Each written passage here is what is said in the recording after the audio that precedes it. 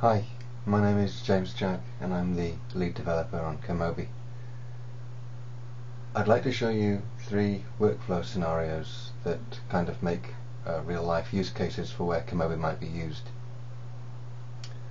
The first use case is, uh, well, I'm working in a lab and I'm doing a, a workup, some experiment that requires morpholine and when I go to the stores I find that the, the, the last vial of morpholine has been used and I need to go and find where I can get some more and, and see what prices we can get. So we could use ChemMobi for this. I start ChemMobi on my iPhone and I would type in the name for morpholine. And I just need to tap on search.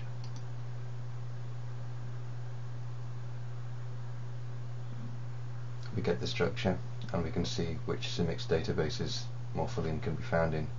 If we go to the supplier tab then we can see that we have a preferred supplier for morpholine and if I tap on that supplier's name then we can get to their pack sizes and prices so I could make a, a choice about what size of a container we needed and, and what price we were going to pay for it. Okay, let's look at another scenario. In this case, again I'm working in the lab and uh, a colleague has dropped a bottle of solvent on the floor and the bottle has smashed and the solvent's gone all over the floor. And in the, the, the, pieces of container that are left we can't see what, what name was on the bottle but we can see a CAS number. So we could take that CAS number and type it into ChemMobi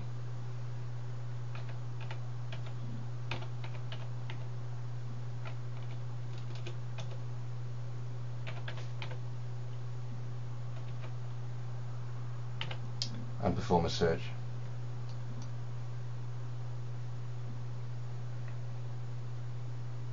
And we can see now that the, the solvent that's been spilled is actually uh, trichloromethylbenzene. That's not a very nice solvent. So let's go and see what the uh, the safety data sheet tells us we should do about this spillage.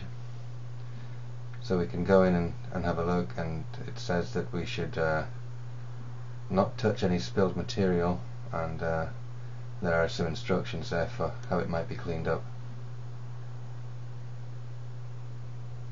Let's take a look at the last scenario where we could use ChemMobi. This time I'm not in the lab, I'm on the train on the way home and I'm reading the newspaper and I find out that a competitor has just released a new drug and the drug name is promethazine but that doesn't really tell me what the structure is but I can use ChemMobi to find out. So I type in the name promethazine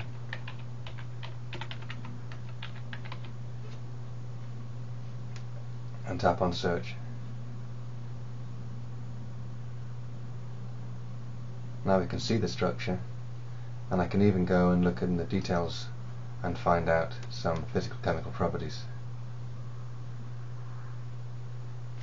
These are the three workflow scenarios that I wanted to show you.